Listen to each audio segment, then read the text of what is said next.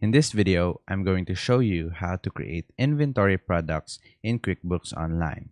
So first, let's head on over to the sales tab right here and head on over to the products and services.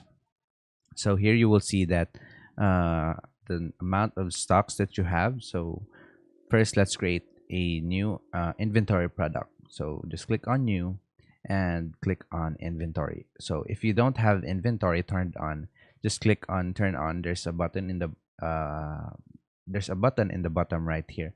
Just click on turn on. So just after that click on inventory and put in the name of the product. So for example I'll be putting in bottled water. And you will be choosing a category. Uh, for this category we'll be putting in uh, beverage.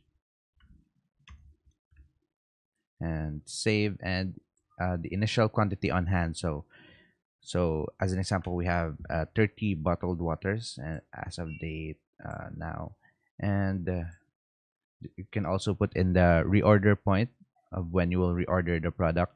So it will put in to the inventory asset account. So here we also have the description of the product. So as an example, we have 500 ml and the sales price would be at 10 and the income account will be in sales of product and you will also have the purchasing information. So the cost of this uh, bottled water would be for example five or whatever the product this is just an example and click on save and close.